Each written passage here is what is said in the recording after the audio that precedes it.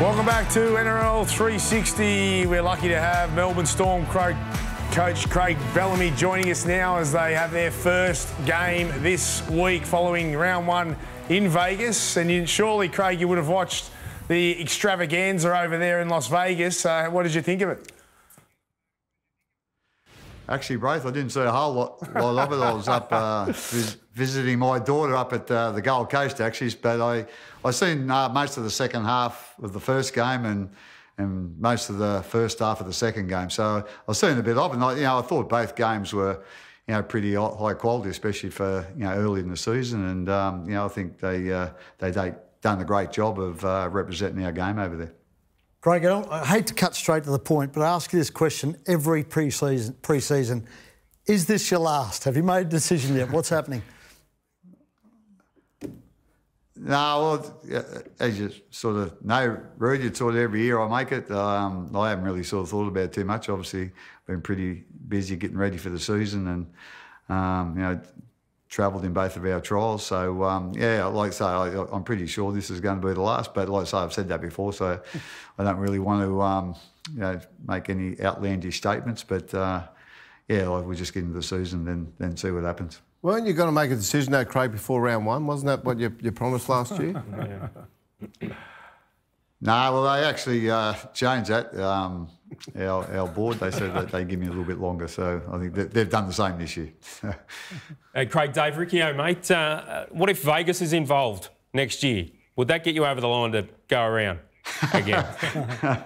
Oh, no, I, I, don't think that would, you know, it's only the, the one week, one game type thing. So um, obviously, look, you know, really exciting time for the, uh, you know, for rugby league in general, but all, you know, obviously the, the four teams that went over. So um, yeah, I, I, think it's going to be a, an event that's going to stay, obviously, and um, yeah, I think you know, like it was great for our game, and uh, but I don't think that'll come into uh, calculations. Billy, uh, you made the prelim last year with the Melbourne Storm, and for your standards that are so high, probably didn't reach your expectations. Uh, what's the plans this year and uh, what's going to change this year? Yeah, well, like, you know, I think last year, Braith, as you say, uh, we were really happy you know, with getting to a prelim, to be quite honest. I thought we you know, done a great job. Um, you know, we had a little bit of change. Um, you know, losing some experience in our forge with the Bromwich boys and uh, and Foose, you know, going up to the Dolphins. So um, that put a little bit of a hold in us. But um, like I say, I was really, you know, proud of them, you know, to go to the prelim. But the way we went out against, you know, the two top sides, obviously the Broncos and, and, and the Panthers in the finals was extremely uh, disappointing. You know, we bowed out without a, a whimper, uh, really. So I think, you know, the one thing, you know, that we need to improve is in our consistency of doing you know the things that we know work for us. Uh, you, know, you know, we played some really good footy last year, but we played some poor footy as well. So I think that's always been a strong trait, you know, of the Storm. You know, just being consistent and making sure you know we know what we're good at and um, and, and, and playing to those strengths. But uh, last year we were very inconsistent, so that's the thing that uh, we'll be looking to be better at this year. Craig, you mentioned you, you lost a, a, few of your key forwards a couple of years ago, heading into last year, and a lot of the experts experts are saying that you you don't have the pack to win the premiership. What do you say to that? Yeah, well, again, you know, um, you know, they might be right, they they might be wrong. At the end of the day, you know, we're just going to make sure we work hard and give you know, everyone in that position a, a real good opportunity, you know, to to make their mark, you know. And um, like I say, we're, uh, you know, this week, you know, we've got a, you know, a couple of guys missing in, the middle, but you know, we've got some some young guys that are, you know, really keen to to get out there and, and show what they've got. And like I say, you know, they as long as we we play to our strengths and they play to their strengths, and um, you know, I'm sure they'll be fine. Can I ask about one of those young guys, Craig Joe Chan? He's the son of Alex Chan. Uh, he was outstanding in Fiji in that trial last week. You've named him start this week. What do you like about Joe? Yeah, he's been with us for a little while. Joe, he's, um, uh, him and Alex are the first father-son we've had at the club. So, um, yeah, that's a, a, you know, a, a nice uh, milestone, I suppose, you know, to have for the club. But, um, you know, Joey's is taken a little while to settle in. He, he played with the Catalans over in uh, the Super League over in um, over in Europe. So uh, he come over, he took a little while to get used to the pace of the game. But um, you know, he's he's a very mobile forward. He's a bit like his old man. He's got a little bit of fire, a little bit of aggression in him, which which we like.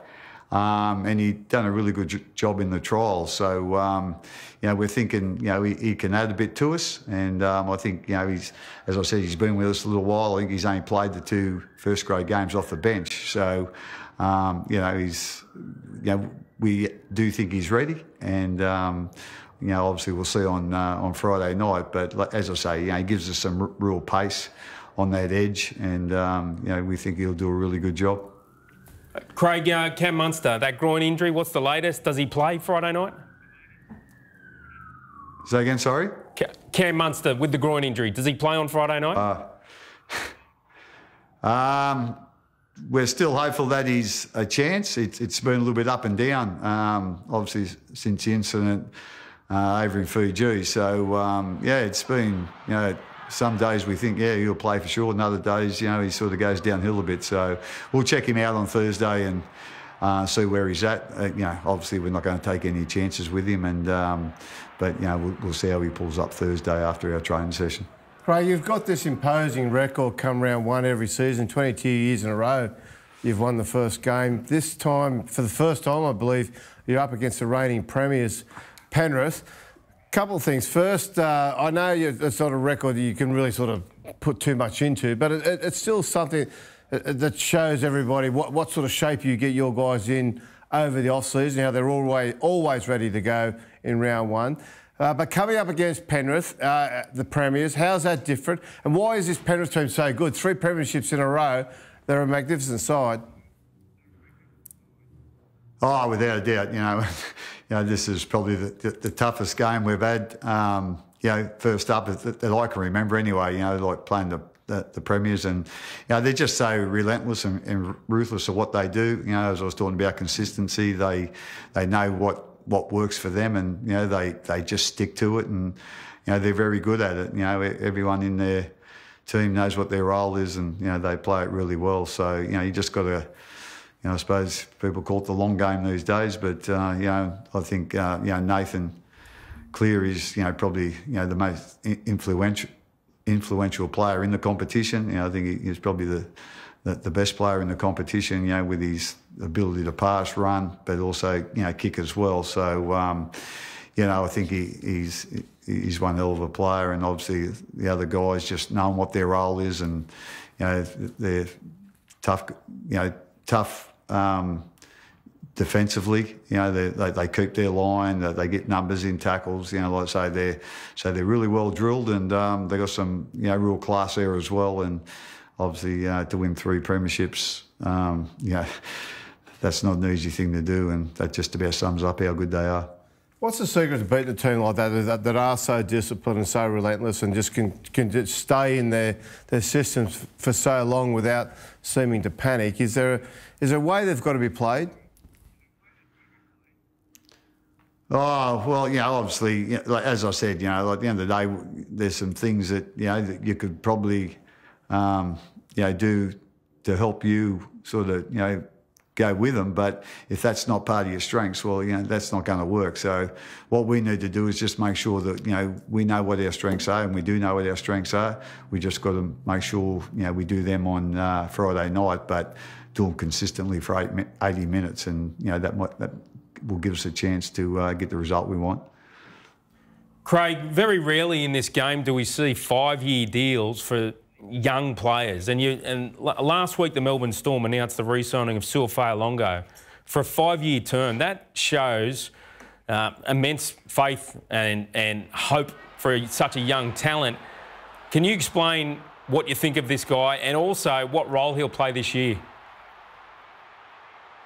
Yeah, it's a good question. You know about the role. Um, obviously, you know his best position we think is fullback, and uh, we've got a pretty good fullback there. If you know, perhaps if he can, you know, stay fit.